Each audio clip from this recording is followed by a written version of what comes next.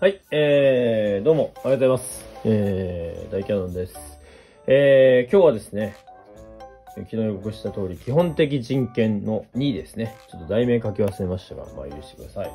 えー、まあ前回やった自由権、平等権、社会権の他のちょっと人権に関する、基本的人権に関する、えー、ことを、えー、解説していきたいと思います。では、えー、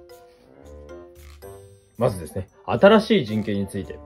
えー、社会が急速に発展して複雑化することによって新しい人権が生まれたんですね。はい。えー、これはですね、まあいろいろ社会が変わってきて、まあそもそも前にやった3つの権利っていうのは、まあ古くは戦後、直後の日本国憲法を作った時に、えー、作られたもの。そこから追加されていったものっていうのが多いので、やっぱどんどんどんどん時代が変わるごとにいろいろね、えー、必要な保障っていうのが変わってくるんです。なので、えー、どんどん増えていきました。はい。まず環境権。これは、まあ、やっぱり科学が発展して社会が発展していくと自然が破壊されて、えー、やっぱりこの自然環境っていうのあとまあ公害の問題とかそういうのも出てきて、やっぱりあの、環境がですね、まあ悪くなるっていうことが発生したんですね。これはもう最初は想定してな、まあ想定してなかったって言ったらあれなんですけど、まあ想像以上にやっぱりそういう新しいことが出てきたので、やっぱその快適な環境で健康に暮らす。やっぱ環境が悪くなるっていうのは健康にも関わってくるので、それを保障するために環境権。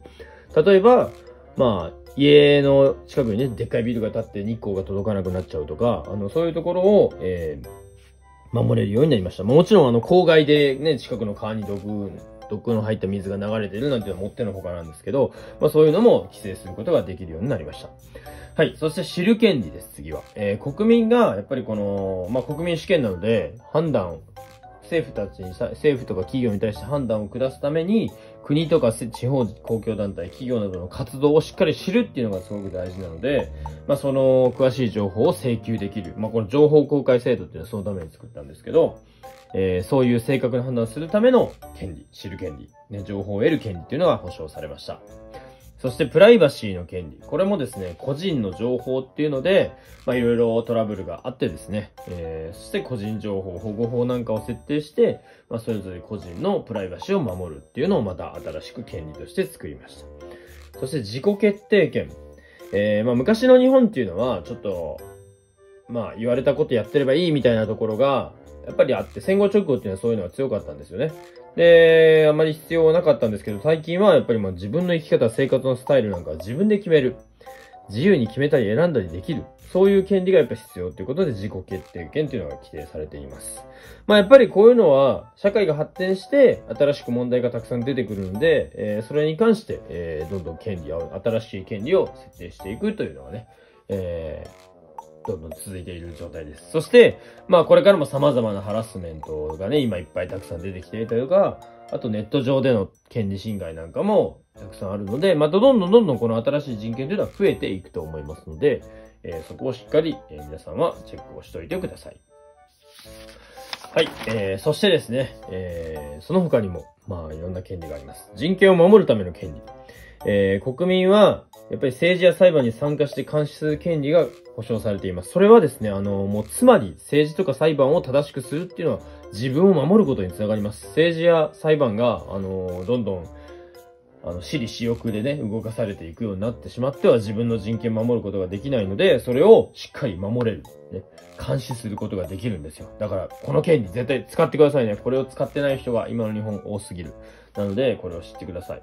まずやっぱり一番大事なのは参政権。政治に参加する権利です。これが、もう政治をなんとかするっていうのが、あの、今の日本にとってすごく大事。ね。もう本当に今、あの、政治によって悲しい思いをしている人がたくさんいます。もう GoTo キャンペーンとかね、ああいうので、あのー、大変な目に遭ってる人いると思うんですよ。やっぱりああいう政治をね、正しくする、国民が正しくジャッジするっていうのはすごい大事ですよ。なんでこれ使ってくださいね。まあ、参政権の中には選挙権。これをも代表を選ぶ権利、非選挙権、代表者になる権利、憲法改正の時の国民投票、そして最高裁判所の国民審査、地方で特別の住民投票、これも大阪都構想で使われましたね。で、請願権。で、国や地方で公共団体に直接要望を伝えることができる権利というね。やっぱこういうのを使って政治や裁判をいい方向に変えていくというのが、皆さん権利があるんですよ。あるんですからね。忘れないでね、それ絶対ね。はい。そして請求権。これは、えー、まあ、不当な、ね、基本的人権を犯されたり、不利益な扱いを受けたりしたら国に対して救済も求められると。ね、皆さん言っていいんですよ。ね、不平不満、もし、まあ、不平不満って言ったらあれかもしれないですけど、まあ、自分の権利が侵害されたり、不当なね、不利益な扱いを受けたら、もう政府や国にね、一緒ですね、政府と国は。国に対して救済求めていいんです。ね、日本人はちょっと我慢しすぎです。はい。どんどん言いましょう。ね。国や地方自治体に不満なことがあれば、これしてくれって言い、求めていいんですよ。はい。ね。なので、よろしくお願いします。他にもね、人権を守る仕組みってたくさんあるんで、もうどんどん使ってください。ね。知らずに使わずに、ね、大変な目に遭ってる人、今、たくさんいるんで、えー、みんな知ってください。ね。こういうのを知るのすごく大事ですよ。はい。そしてですね、国際社会でも人権というのは尊重されていっています。1948年の世界人権宣言、国連がもうね、採択していますので、そして1966年には国際人権規約も採択して、もう国連も人権を守っていこうっていう方針なんで、えー、そこはね、安心してください。国際的にも認められてます。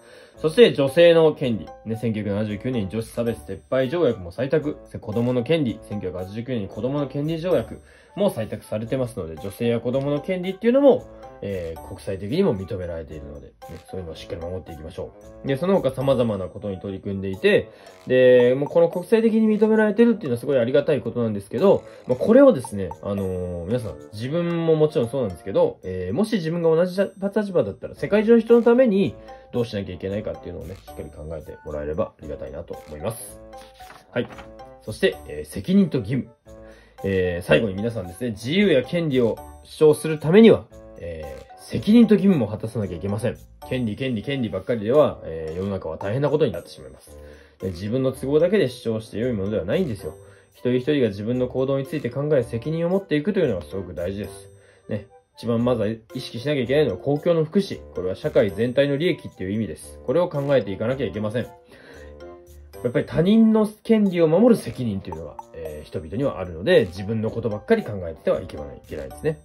そして最後ね、国民の権利と義務です。憲法では3つの義務を定めています。子供に普通教育を受けさせる義務、勤労の義務、納税の義務、ね、こういうのは決まっていますので、皆さん、責任と義務を果たすことで自由と権利は守られますから、ね、もう権利だ、ぎ、ね、権利なんだ、自由なんだって言い続き、言ってばっかりじゃダメですよ。それはですね、責任と義務を果たした人が言えることなんです。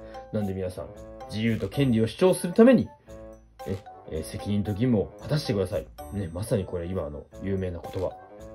責任と義務で、責務ですよ。ね。己の責務を全うしてください。はい。では、えー、今日はですね、この基本的人権の、えー、2番目のところ、えー、基本的な自由権、平等権、社会権以外の、えー、新しい人権や人権を守るための権利、国際社会での人権尊重、そして責任と義務について、えー、解説をしました。しっかりですね、あの、こういうことを意識して、基本的人権をしっかり守れる人に、皆さんなってください。では、またですね、あの、質問と、あと、この辺を解説してほしいっていうのがあれば、えー、コメント欄に書いていただければ、えー、そういうのも反映して解説していきたいと思います。えー、もうすぐ受験も近くなってきたので、え、公民だけではなくてですね、えー、地理歴史など、え、受験に向けた復習動画も出していく予定ですので、えー、地理歴史特にここを聞きたい、ね、ここを解説してっていうのがあれば、えー、ぜひコメント欄でお願いします。もうそれ、今もうコメント少ないんで、書いてもらえればそれがすぐに反映されると思いますので、どしどしコメントよろしくお願いします。それでは、えー、連休2日目ですけどね、あのー、ちょっとそういう感染防止とかそういうのに、えー、気をつけながら、楽しい休日を過ごしてください。では、また次の動画でお会いしましょう。さよなら